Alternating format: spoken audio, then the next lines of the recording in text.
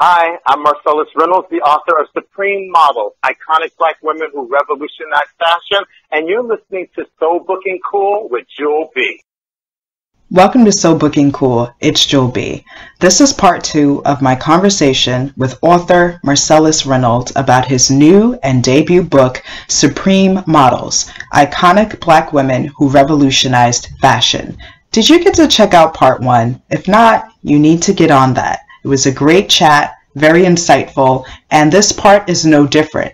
In part two, we learn more about the creative process of Supreme Models. So many interesting tidbits that we learned from Marcellas about his book. This is also the part of the interview where things do get emotional when we learn more about Marcellas's background and his childhood. So without further ado, let's get into part two with author Marcellas Reynolds only on So Booking Cool. Five, four, three, two, one.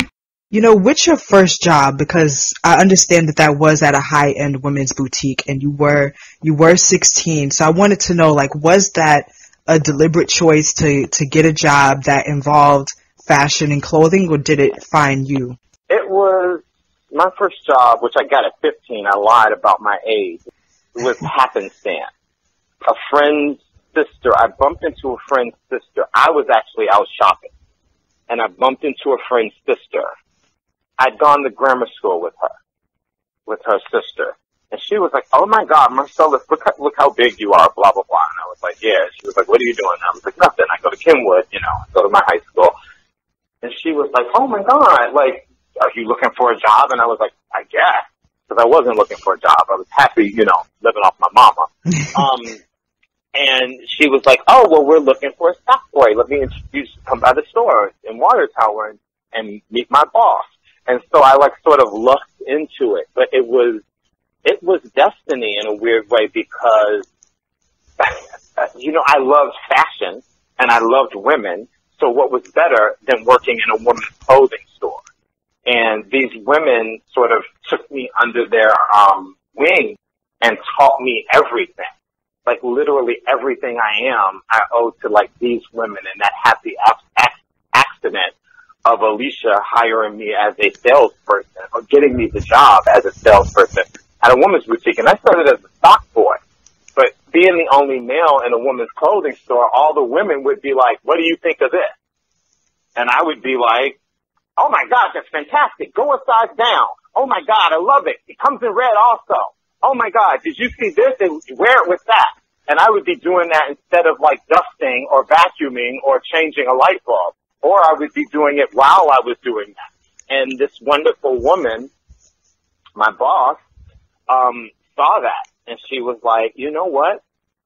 We're underutilizing you. You should be on the sales floor. And she made me a salesperson and I was like, I think I was like one of two male salesperson in a salespeople in a store, like a, a chain of a hundred stores. And then when I really started concentrating on it, I became like the number two salesperson in the company. It was crazy. I was making more money than my mother made. I was still in high school. Wow. I was working, I was working part time because the store was part commission. So if you told me, so this week it was like, you know, $20 if you sell five, you know, cashmere sweaters. I would sell 200 cashmere sweaters. You know what I mean? It was like, if you sell a leather jacket, you get fifty dollars extra, and I would be in there. I would be like knee deep in the ja- in the leather section selling jackets, one after the other. So, um, yeah, I was like making some cake and didn't didn't realize I was making cake because I was turning my checks over to my mother. You know, because you, you know when your mother kind of realizes what's happening, she was like, um, "You need to be paying rent." And I was like, well, if I'm paying rent, I'm not listening to a word you say. which, didn't go, over very well. oh my god! Wow, I I just I love I love that story. That that is amazing. You were you were killing it. You were in your element, and they saw they saw that they absolutely were underutilizing you like hey like you you you're, you can do way more you can do way more than change the light bulbs and and vacuum and it just worked out for you and then even was it yeah what are you gonna say gave, me the opportunity. She gave me yeah. the opportunity. She gave me a shot. I mean, it worked out for her. The stores were highly competitive. So if you've got a good salesperson that's got, that's building a clientele that is, you know, coming back week after week for them, you know, then to, to be around them, to talk to them, to, and I would be on the phone. As soon as I walked in, I would get my clientele book. I would look and see what came in new. And then I would get my clientele book out and I would get on that phone and I would be like, Melody, girl, we got this leather skirt in that I know you would love. You can wear it with that Norma Kamali shirt you got last week. It also works with their blah, blah, blah you got on your layaway. Come on in, girl. I'm gonna put this skirt on, on hold for you. I'm only gonna hold it for you till Friday. So you better get in here, you know. And I, and, and so I would spend the first part of my day, my shift on the phones, working the phones.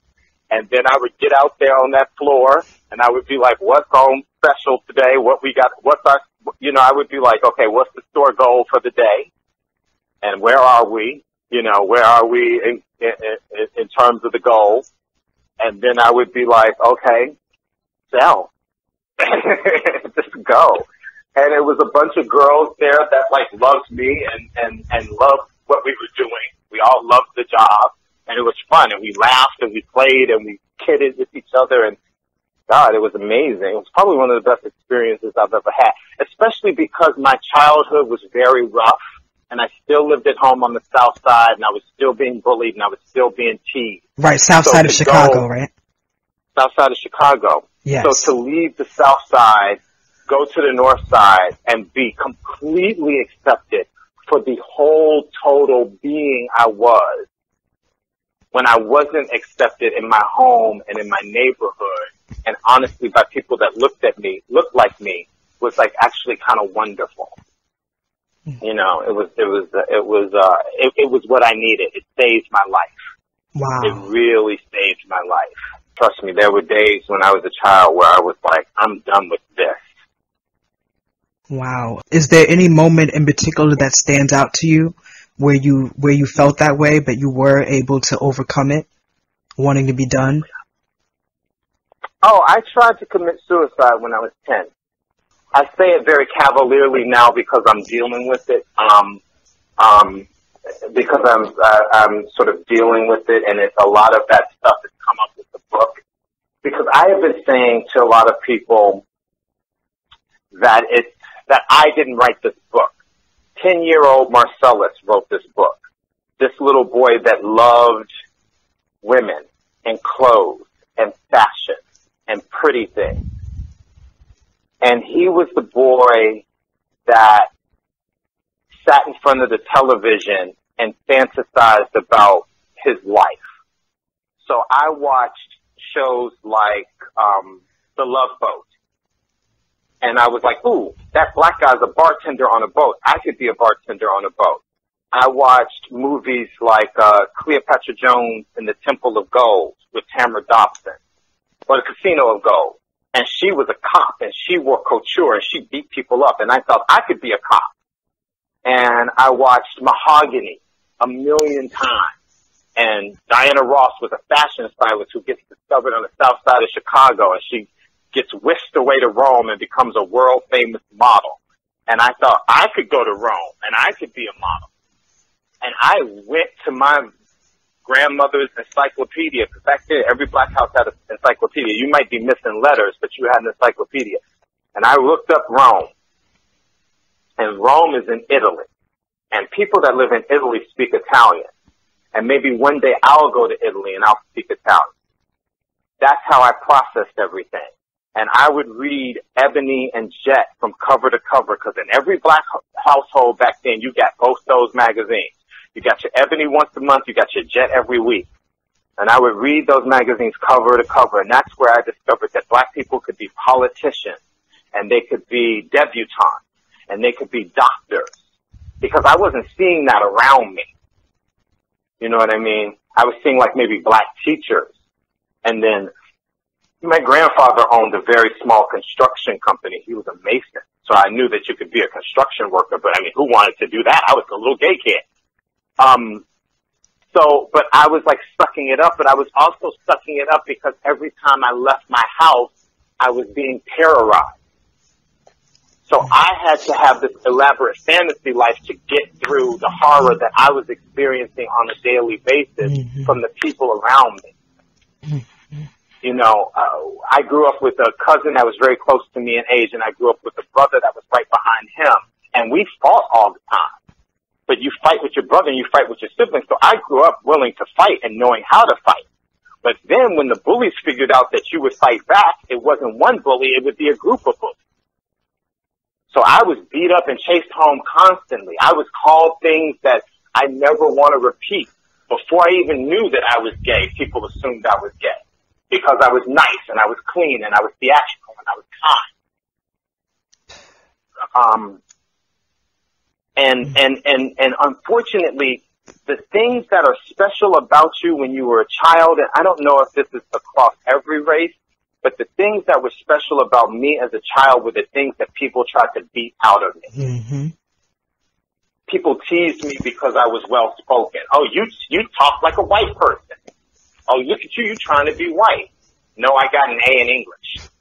Um, no, I read because I need to get out of the, the, the horror that surround me every day. The drugs, the gangs, the violence, the poverty. So I read and I go places in my mind. Um, so wow. that's why I wrote the book. That's why, that's why 10 year old Marcellas wrote the book. Because for me, these magazines, these movies, these journeys that I took in my mind took me places that let me get past the horror that I was experiencing on a daily basis, both inside and outside my house. That's why diversity matters. Little black kids need to see them represented in a beautiful way so that they can dream. Little girls need to see themselves represented in a beautiful way so that they can think that they can be more than just pretty. You know, they, they need to see themselves as doctors and lawyers and biochemists and, and, and, and, and, and athletes. That's for every race. And that's why I wrote this book, and that's what the book is about. For me, the book is a celebration of diversity because I want some little, and that's why the book is so cheap. People keep telling me every day this book is too cheap. Mm-hmm. I priced this book really inexpensively. And Abrams, thank God, believes in the same way that I do. Because I want some little black girl that wants to be a model or loves fashion to be able to go to the store and buy this book. Maybe she saves her allowance up for two, three, four weeks and she buys this book. Or if she says to her mama, Mama, I want to be a fashion designer. Mama, I want to be a model. I want to be a hair and makeup artist her mother goes to Barnes and Noble and buys this book for her. This book could have been a $200, $300 Taschen book or a Rizzoli book. When I signed with Abrams, we, we were both on the same page, my publisher and I, and we wanted this book to be under $60 and we made it $50 because of that. I'm not going to make money off of this book. I spent my savings. I spent my advance. I took out credit cards to finish it. The licensing fees were double what we estimated them for. But if this book makes one person happy, and they see it and they go, I'm beautiful too, then this book is worth it. Listen, Marcellas, Marcellas, first of all, I just want to say, even without knowing you personally, but I know a lot of people would also agree. I'm so glad that you did not give up on yourself. I'm so glad because like you, like you are clearly extraordinary and what you're doing, like, and like even, you know, just helping to, to put that model back together when that was a very like unpleasant and just like immoral experience on set and, and you being really generous with the price point for Supreme models and, and what it, the impact that, that it can have around the world for people. Like that's just, that's magnificent. Like that's, that's wonderful. And it is, it's a beautiful, beautiful book, you know, honoring models past and present. And 75 models, I believe, are, are, are honored. Over 100 stunning images. It's, it's just, it's not even just like perfect for the coffee table. It's it's great for the soul as well. And thank you. Oh yeah. I have got to stop crying all the time. God. Bethann was like Bethann was like, boy, I don't want to see no tears on this stage at Tamron. You better spread them shoulders. I have been a mess. and and by the way, you like know, yeah, go on, go on. It's eight years of my life, so it's just you know, I came up with the idea in 2011, and it's so odd that it happened. You know, it's it's it's, it's wonderful to see, but it's not. It's also wonderful that it's being received so beautifully. Mm-hmm. You know, yeah. it's like I, I sort of thought, oh, I'd write a book, and then you know, yeah, I wrote a I wrote a book. You know, yay, and, and I didn't know what to expect after, and I have no expectations from it. But it's wonderful that it's being received in this way. It's, uh, I'm getting tons of text messages and DMs and emails from people, and they're like, we didn't know that this was the book we needed. And I was like, I didn't either. mm-hmm. yeah, and, and what what have been some of those powerful messages and beautiful messages that you've received for the book? Oh my gosh, gay guys love this book.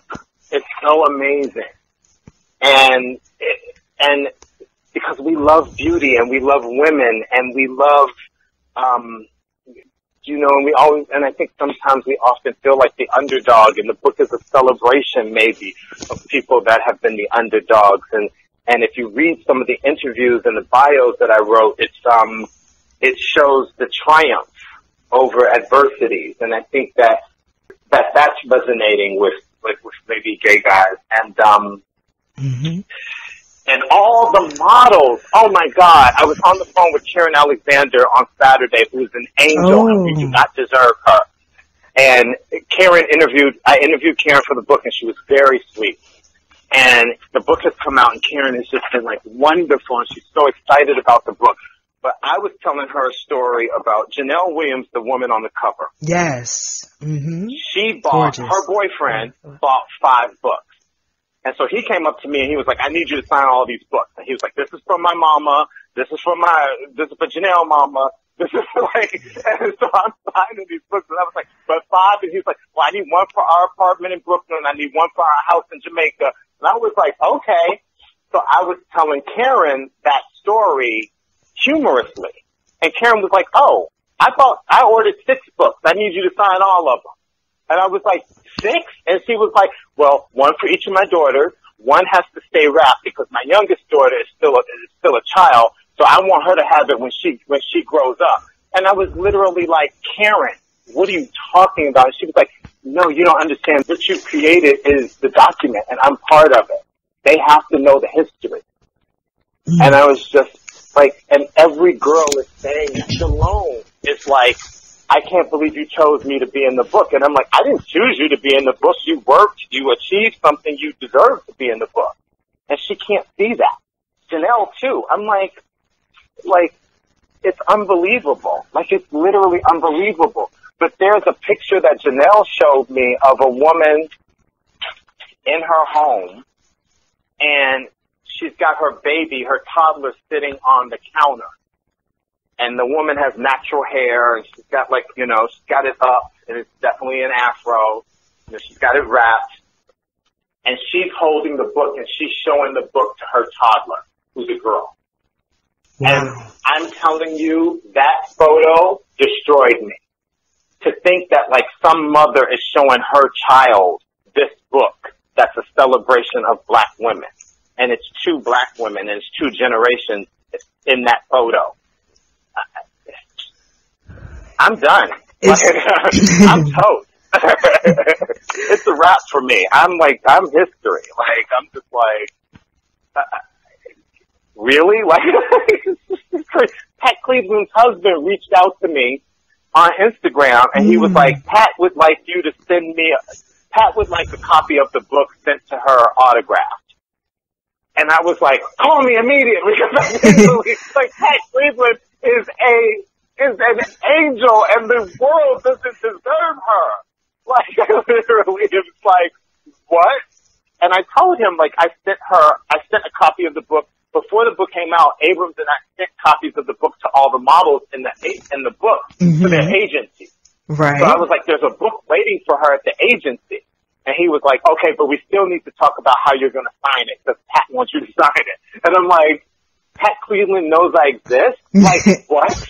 like, like, that, that, that is just, wow, that's just mind blowing to me. Mm-hmm. I'm like, what? Like, Iman did a post, and not only did Iman do like an Instagram post, hers is art directed. There's crossfade, there's music, there's like multiple. I was like, yes, Iman, you better do this. That's major. That's major. It's so crazy. And then also it's Cynthia crazy. Bailey too, like shout it out. Cynthia did a, a post about it. Um, Cynthia and I have been friends for a really long time, but Cynthia doesn't realize that we worked together when I was a model. She was a, a Macy's girl, and I was a Macy's. She was a Macy's model. I always say girls when I'm talking about the model. but she was a Macy's girl, and I was a Macy's boy. But I was doing juniors, jumping around while she was doing like the high end stuff, even though I was probably her age. But you know, black don't crack, so I was doing juniors right. until I was like 26. Um, Wow. And, and and I worked a couple of times on the same set with Cynthia, so I knew who she was, and we had had conversations on set. She didn't remember that, but since then I've met her a couple of times. I have a reality background. Yes. As does she.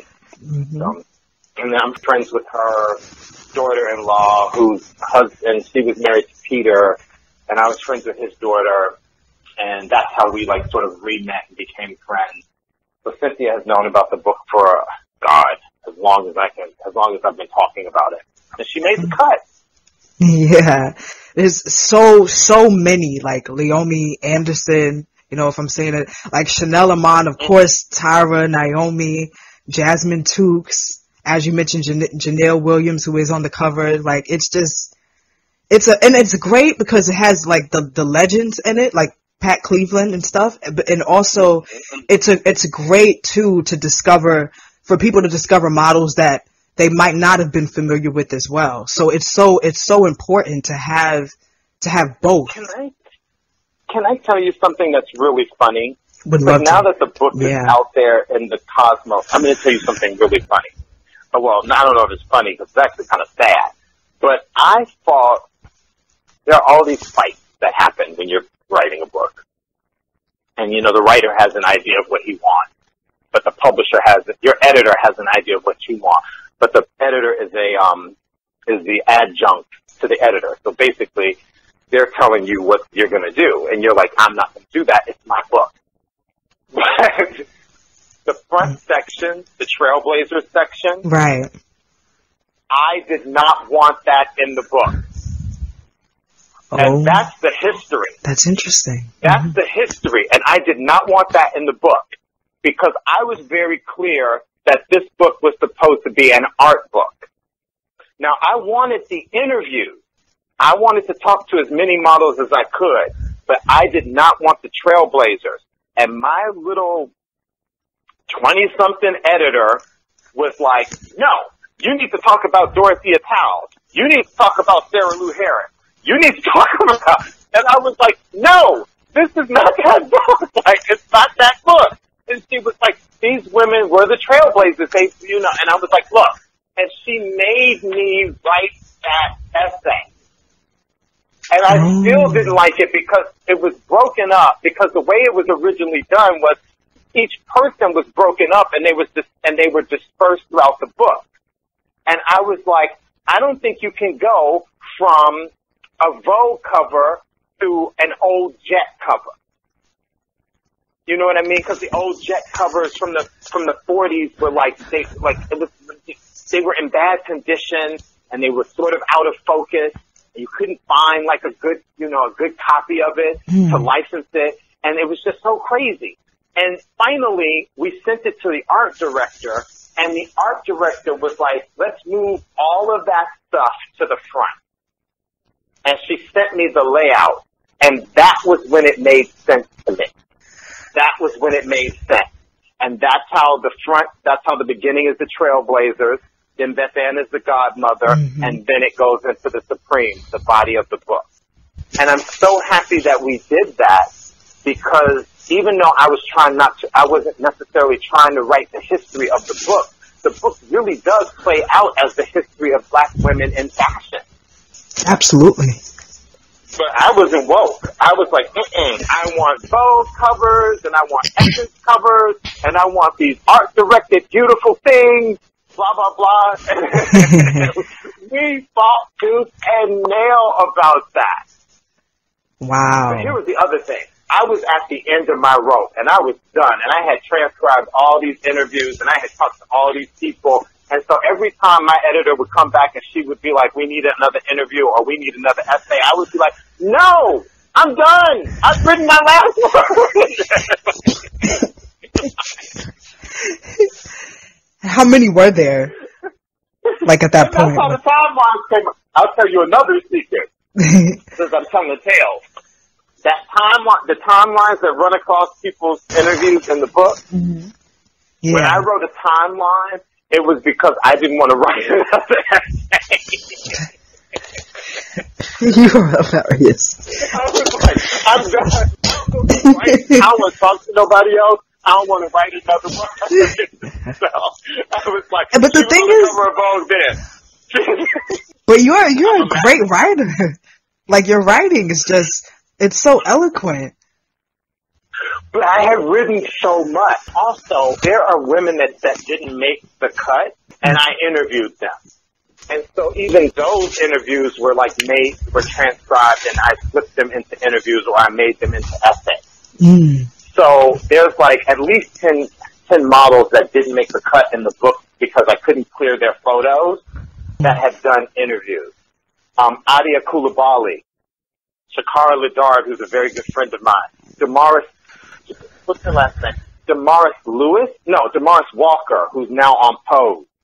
Oh. Backup dancer for Prince. Mm-hmm. She did an interview, and her interview was wonderful. She talked about Sports Illustrated, and she didn't make the cut because I couldn't clear her photo. And um, Coco Mitchell, oh, she didn't make the cut, and I couldn't because I, um, I couldn't. Cause Coco was more of a runway girl, and I couldn't clear her photo. I wrote a beautiful piece about Katoucha Niane, um, who is legend, but she was more of a runway girl and a muse to designers than she was a print girl. So it was very hard to find photos of her that ran in magazines. And so she didn't make the cut. So like there's like, I'm sitting on a bunch of interviews that didn't make the cut. Cause, cause at the end of the day, it's a photo book. It's an art book. It's about the photos to me first. And then if you learn something from my words as a, as a as a side note, great. like, but for me, it's an art book. And you know, and that's one of the things too, because like now people are comparing it to Barbara Summers' wonderful book, Skin Deep, which is mm. like the mm. Bible. You know what I mean? She has the, she did, because Abrams was calling it the first ever book devoted to black models and Abrams and I felt like we talked about Barbara's book, but we felt like this is the first ever art book. It's the first ever photography book devoted exclusively to black models. And so we mm-hmm. felt like we could say that. But now that's getting sort of morphed into it's the first ever book and it's not. Barbara Samuels, Barbara Summers, excuse me, her book is really wonderful and her book is like really is the is the it's like the novel. Like if my book is like the cliff notes, her book is like the textbook to black modeling because she really like um you know um, hits every dot you know she hits every spot and and, and really goes through the chronicle of the of the black model and their evolution up until the mid 90s when she wrote her book.